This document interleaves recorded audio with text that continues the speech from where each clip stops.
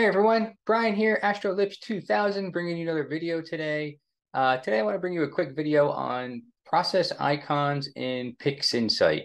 I'm creating this video at a request by a friend of mine, mprez22. Uh, if you want to check him out on Instagram, he's got some amazing astro images on there. Um, so I decided to make this video to show you guys what process icons are, how to create them, etc. So let's dive in on my screen, uh, you can see I have, well, on the right-hand side, all the process icons that I use right here. And over here is the Fireworks Galaxy that I am processing, working on.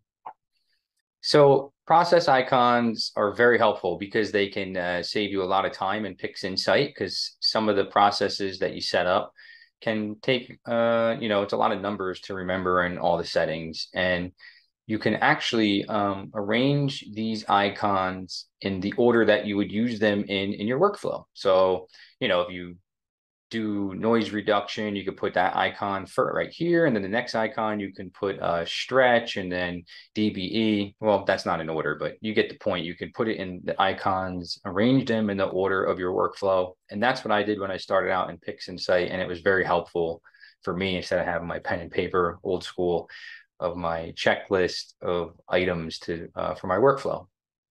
So let me show you guys what the purpose is of them. So let's go to process, all processes. And I feel like uh, let's use dynamic crop. This is a good example to show you guys. Oh, let me move my screen out of the way over to here. So dynamic crop, uh, not so much on one-shot color, but you have a ton of mono images that you were working on, it's a good way to um, you know uh, perform the same process on each one of the images some of the ones the repetitive ones such as dynamic crop. Uh, so you could set set the reset here and set you know put the crop the way you want. So something crazy. Say for whatever reason i wanted to crop the image like this. So before you would execute the command by clicking the green checkbox you grab this little triangle right here in the corner. All the processes have it. Drag and drop. And that's going to save a copy of the way that you have all these parameters set. In this case, the way that I have this window set here. So let me show you. Now I'm going to execute the command and it did the horrible crop that I set up for this image. So let me get rid of this. Now let me back up and then the image is back the way it was. So this saved the way that I have the crop setup. And there are two ways you can go about doing this. You can drag and drop the process command that you created, and it will perform it.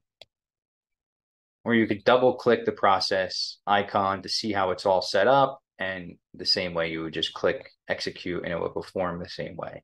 So these things are great, and very helpful. Let me get rid of this. After you drag and drop the process icon and you see it right here, you can then right click on it and you go down to set icon identifier and you can rename it. You're not allowed, you know, PixInsight doesn't allow any spaces. So you just have to use an underscore. Um, super sweet crop. Perfect. Now you can see it renamed my process icon. And again, you can use these for anything. As you can see, I have um, some pixel math equations in here. So if you set up um, pixel math, let me show you, process, all processes. Well, why am I going to use this when I'm making a video to show you about process icons? So let me show you pixel math and anything that you were to enter in here, any word, if you drag and drop the icon, yeah, whoops, I dropped it on the image. You got to drag into the gray area on the screen. Close this.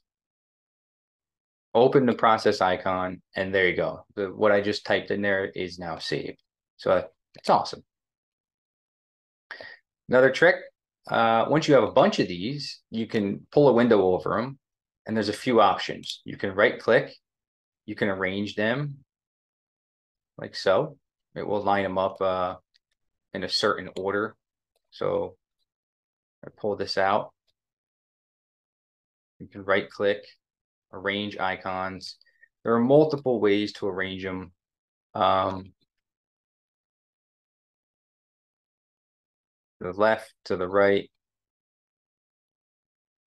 Click over here and it will give you a line right, left, or center. Uh, another thing you could do after you created all these process icons is you could pull a window over them again, right click, and save selected icons. So you save the icons to a specific location, and that's how you can bring them back into the exact uh, location you had them on your screen and the and what how you had them all set up. So we'll call this test.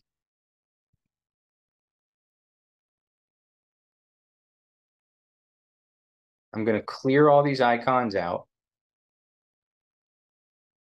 Remove. And then I'm going to bring them in. Keep in mind, PixInsight does not automatically import your process icons, at least uh, uh not that I'm aware of. Every time you open PixInsight, you'll have to reload the process icons, just like this. So when you open PixInsight, you have the gray screen, process icons. You right click, process icons, and then load process icons. And then here's the one that we just created called test. So let's open that. And there you go. You can see it popped up in the same spot where we had them saved. So let me remove these. Delete selected icons. And again, right click, process icons, load process icons. And these are the ones that I use workflow. And this is how I typically have them arranged. You can also send your process icon file that you saved to other people. So again, if you had your uh, workflow set up and you were trying to help someone out that's just learning how to use Pix, you can arrange the icons in a specific order and then send that file to them and they can open it and just follow the order of the process icons to help them with their processing. That's what I did when I started with Pix. And again, I arranged them in an order um, of my process and, and it, it was very helpful. Okay, everyone, thanks for watching. Brian from AstroLips 2000, and I hope you enjoyed my uh, short video on process icons. Thanks, everyone.